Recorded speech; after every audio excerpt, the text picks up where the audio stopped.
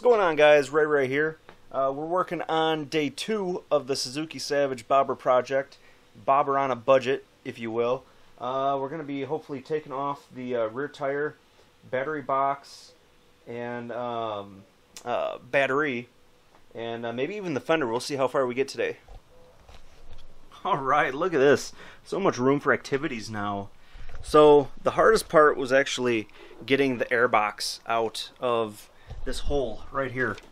That was probably the hardest thing because you had to I had to finagle it all around and I ended up taking this to it which got it out with no damage to the actual box if I wanted to reuse it.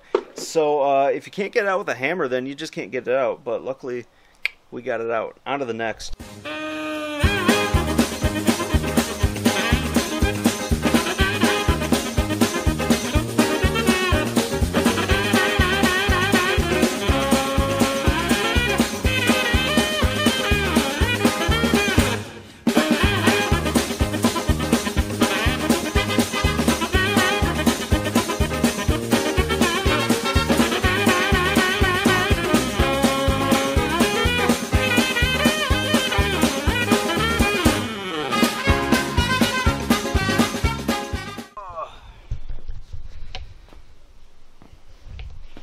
Alright guys, check it out. We got the whole, whew, we got the whole back end off.